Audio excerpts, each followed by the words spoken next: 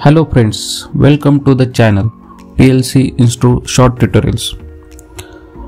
Looking for the audience queries and response to, to my previous uh, videos to how to upload the HMI backup from HMI to PC, I recreated this video with step by step guide. So let's see. First, connect your HMI and PC with the Ethernet cable. It will be Cat5 or Cat6 cable with RJ45 connectors.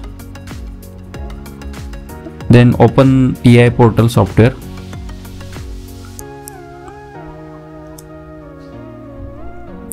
First you have to check that connection is present between your PC and the HMI. So you can confirm this by using accessible device option. So here I check I found the IP address also. Then go to the online option HMI device maintenance and click on the backup option. This pop-up will come up which is create backup. It shows us the option to choose the type of the PGPC interface. Select Ethernet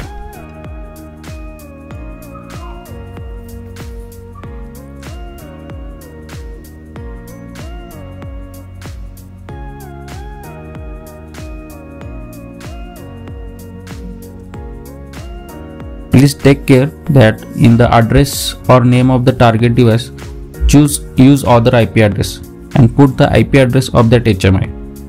So we will get easy access to the HMI.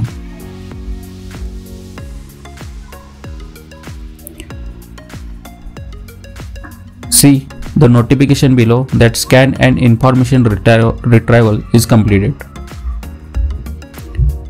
Then click on the create button.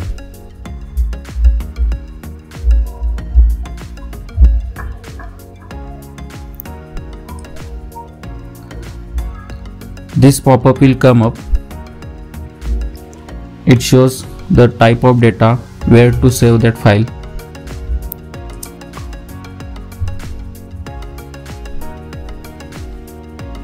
Choose the path and save that .brf file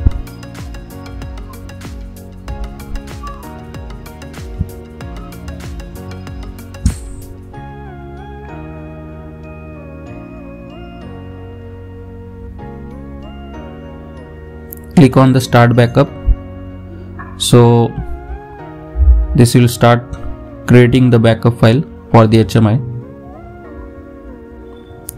please note that this backup file can be used to download to the another HMI but we cannot modify the HMI screens or HMI program using this backup file.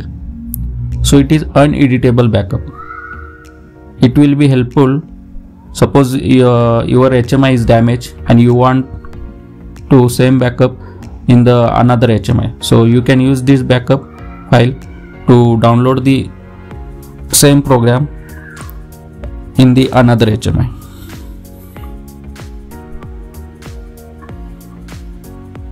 so the backup was created successfully.